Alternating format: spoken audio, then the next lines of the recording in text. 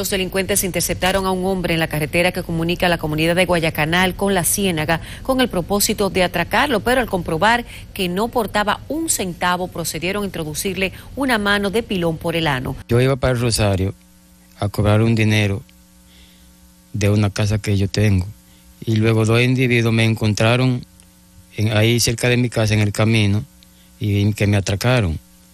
Y luego me tiraron al suelo y me dieron golpe y luego en ese momento me introducieron una mano de mortero por el ano. Fue un abuso que hicieron con mi marido, lo agarraron y lo violaron y le dieron muchos golpes por la, por la costilla. Cuando mi hijo me llevaba hacia el hospital, así enfermo, dos, dos patrulleros de la policía nos encontraron en el camino y luego nos fueron siguiendo hasta el hospital y allá en el hospital le quitaron el motor a la fuerza y se lo llevaron el motor preso. El doctor me dijo que cuando él vaya a a al baño que no vaya solo porque me le puede dar un paro.